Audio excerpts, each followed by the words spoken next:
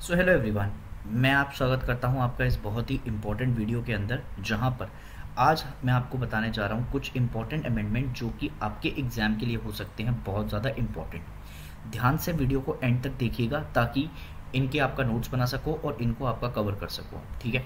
देखो important amendment में सबसे पहले आपका अमेंडमेंट आता है first constitution amendment act of 1951 ठीक है जी? First constitution amendment act of 1951 के अंदर कई सारी चीज़ें हुई, इसमें हमने सबसे पहले नाइन्थ शेड्यूल को जोड़ा। अगर तुमको पता हो तो आपका हमारे पास टोटल ट्वेल्व शेड्यूल होते हैं, उसमें से नाइन्थ शेड्यूल जो आपका बात करता है, वो लैंड रिफॉर्म्स के बारे में आपका बातचीत करता है। ठीक है? लैंड रिफॉर्म्स को आपका जो है बेसिकली जुडिशियल पर जुडिशियल रिव्यू के अंदर आपका लेकर आया गया और इसने आपका जो है सोशली इकोनॉमिक बैकवर्ड क्लासेस को आपका इम्प्रूव कर दिया। इसी के साथ आपका एक होता है सेवन्थ अमेंडमेंट एक्ट ऑफ़ 1956 जो कि बहुत ज़्यादा इंपॉर्टेंट है। अगर आप इसको समझेंगे तो seventh constitution amendment act of 1956 के अंदर हमने कुछ चीज़ों के ऊपर आपका फोकस किया था, जैसे फॉर एग्जांपल सबसे पहले हमने क्या किया कि जो सेकंड एंड सेवन शेड्यूल है हमारा, ठीक है, उसको आपका अमेंड करने की तरफ़ बातचीत की, ठीक है। जो हमारा सेकंड एंड सेवन शेड्यूल है, उसको आपका अमेंड करने की तरफ़ आपका बातचीत कर चुके थे। सेकंड और सेवन्थ को आपका याद रखिएगा। ठीक है सर? इसके अलावा हम आते हैं टेंथ की तरफ़। तो टेंथ आपका जो है हमारा 1961 में, इसके अंडर हमने क्या कर दिया था? इसके अंदर हमने आपका जो है दादरा नागर हवेली और दम, जो दादरा नागर हवेली वाला इलाका है हमारा, उनको आपका एजेंट प्रोवाइड कर दिया कि आप इंडिया का पार्ट है और अब ये आपका रूल्स एंड रेगुलेशन के किसके अंदर आएँगे? प्रेसिडेंट के अंदर आएँगे। तो ये बेसिकली आपका डील करता है दादरा नागर हवेली से। Thirteen constitution amendment act of 1963 की तरफ़ बात करें तो इसने नागालैंड को स्टेटहुड की तरफ़ आपका बातचीत कर दी थी। जो नागालैंड है हमारा, अगर आप देखेंगे तो अरुणाचल प्रदेश, मणिपुर और नागालैंड, अरुणा नागालैंड और मणिपुर, ठीक है? तो ये यहाँ पर आपका जो नागालैंड आएगा, इसको स्पेशल प्रोविज़न आपका प्रोवाइड करा दिए गए थे।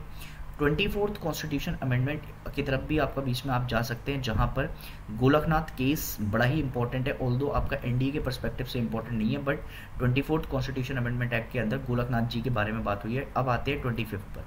Twenty fifth constitution amendment act पर जाएँगे तो वहाँ पर जो ये लेकर आया गया था 1971 में तो इसमें आपका क्या हुआ, जो आर्टिकल 31 सी है ऑफ़ द इंडियन कॉन्स्टिट्यूशन उसमें आपका बातचीत की गई और फंडामेंटल राइट को आपका ये बात बताया गया कि फंडामेंटल राइट हमेशा आपका डीपीएसपी के ऊपर रहेंगे।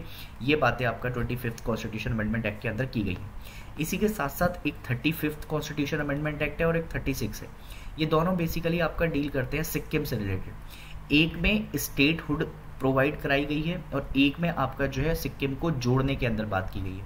ये आपका होमवर्क है, आप मुझे बताएँगे किसके अंडर आपका सिक्किम को जोड़ा है और किसके अंडर आपका जो है ये बताया गया है कि सिक्किम आपका एक पार्ट है इंडिया का पार्ट बन चुका है।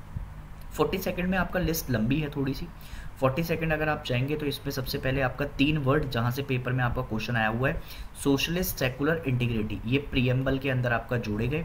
इसके अलावा part fourth A of the Indian constitution fundamental duties को आपका कॉन्स्टिट्यूशन के अंदर जोड़ा गया। और अगर आप देखेंगे तो आपका जो है बेसिकली जो हमारा टेन्योर था लोकसभा का उसको बढ़ाकर पाँच से छः साल कर दिया गया, क्योंकि ये चल रहा था टाइम पीरियड आपका इमरजेंसी का। मैडम इंदिरा गांधी की आपका चल रही थी, और इसके अलावा ऑल इंडिया जुडिशियल सर्विसेज़ के बारे में आपका इम्प्लीमेंट करने के बारे में बातचीत की गई। ये इस साल भी आपका द्रौपदी मुर्मू जी, जो कि हमारी आपका क्या है प्रेजिडेंट साहिबा हैं, उन्होंने भी आपका इसके ऊपर चर्चा की है।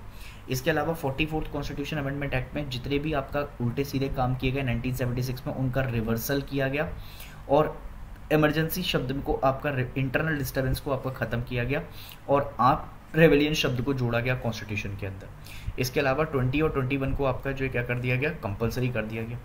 Fifty second constitution amendment act of 1985 की तरफ़ आप आएँगे तो fifty second constitution amendment act of 1985 आपको दो चार चीज़ों के ऊपर आपका बातचीत करके देखा जाएगा। जैसे अगर आप बताएँगे तो फिफ्टी सेकेंड के अंदर आप जाते ही सबसे पहले क्या देखते हैं?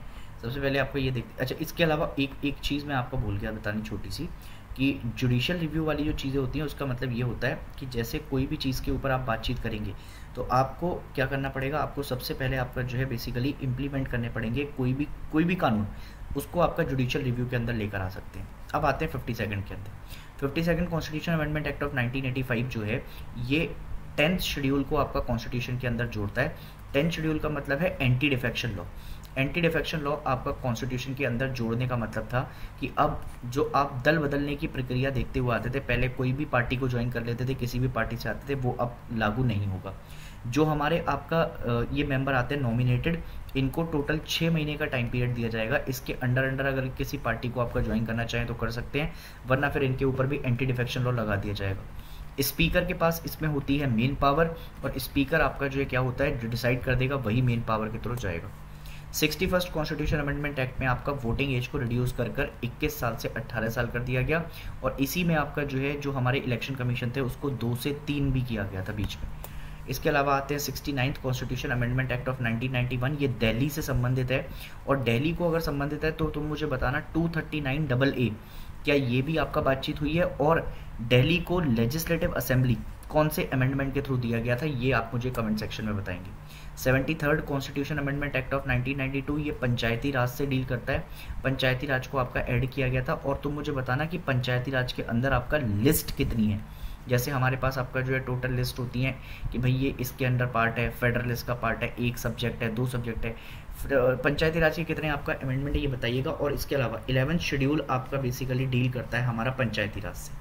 पंचायती राज में अलग अलग कमेटीज़ भी आती हैं एल एम सिंघवी कमेटी इसके अलावा आपका जो है अशोक मेहता कमेटी ठीक है? ये सारी कमिटीज़ के बारे में आपका जो है बातचीत हो सकती है पेपर के अंदर कि किस चीज़ से संबंधित है। अशोक मेहता कमेटी हो गई एल एम सिंघवी कमेटी हो गई, बलवंत राय मेहता कमेटी हो गई, ये सब डील करती हैं आपका किससे?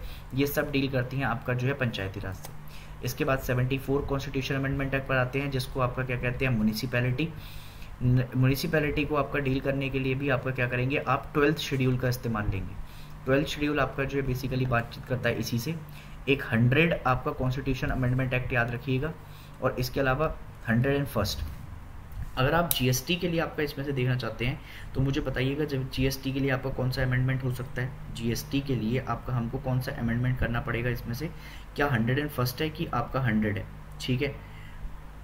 बताइएगा मुझे। अच्छा जीएसटी जो आपका लेकर आया गया था, वो आया था आपका 2017 में। ठीक है?